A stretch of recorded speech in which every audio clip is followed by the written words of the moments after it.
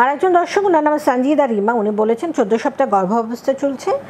হঠাৎ করে ভুলে কিছু ভারী জিনিস তুলে ফেলেছিলেন উনি। এরপর থেকে ওনার কোমরে ব্যথা হচ্ছে এবং পেটেও পিরিয়ডে ক্র্যাম্পের মতো ব্যথা হচ্ছে। এটা বাচ্চার কোনো ক্ষতি হবে কি না আসলে প্রেগনেন্সির সময় আমরা কিন্তু বারবার বলে থাকি যে ঝুঁকিপূর্ণ কাজগুলো করবেন না বেন্ড করে ভারী কিছু তুলবেন না।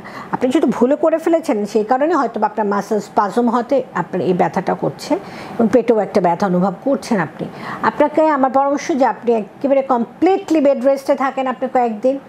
ব্যথা খুব বেশি যদি থাকে, আপনি প্যারাসিটামল খেতে পারেন হট ওয়াটার ব্যাগ দিয়ে কম্প্রেশন দিতে পারেন, তারপরেও ব্যথা না কমলে আপনি লোকাল মাসেল কিছু রিল্যাক্সেন যেটা লোকাল স্প্রে সেগুলো দিতে পারেন, যেগুলো প্রেগনেন্সিতে সেম আর ঠোঁট, পেটে যে ব্যথাটা সেটাও আস্তে আস্তে আসলে চলে যাবে। ইউট্রাসটা যখন ঠান মানে সে যখন সংকুচিত হবে না, মোট কথা আপনাকে বিশ্রামে থাকতে হবে এবং সিমটমেটিক ট্রিটমেন্ট লাগবে আপনার এটার জন্য। এবং অবশ্যই এটা আপনার জন্য একটা শিক্ষণীয় ব্যাপার যে আপনি নেক্সট টাইমে আর কখনোই কোনো ভারী জিনিস সেভাবে তুলবেন না।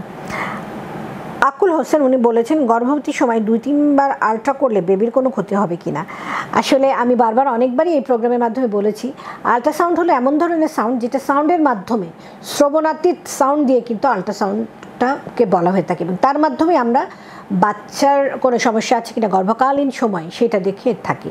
সুতরাং এটা সাউন্ড এটাতে কোনো ধরনের রেডিয়েশনে এক্সপোজার নেই। সুতরাং আল্ট্রাসাউন্ডে বাচ্চার উপর কোনো রকম ক্ষতির প্রভাব ফেলে না।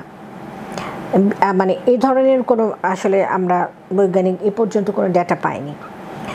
আচ্ছা আর উনি আবার আরেকটা জিনিসও জানতে চেয়েছেন যে কত সপ্তাহ থেকে কত সপ্তাহ পর্যন্ত ফলিক অ্যাসিড খেতে হবে। ফলিক অ্যাসিডের ব্যাপারে আমরা সবসময় বলে থাকি, ফলিক অ্যাসিড আপনি প্রি প্রেগনেন্সির সময় থেকে শুরু করবেন, অর্থাৎ three month before pregnancy up to three month of pregnancy অর্থাৎ প্রেগনেন্সির চেষ্টা করার তিন মাস আগে থেকে শুরু করবেন এবং প্রেগনেন্সি হওয়ার পরে তিন মাস পর্যন্ত ফলিক অ্যাসিডটা খেতে হবে।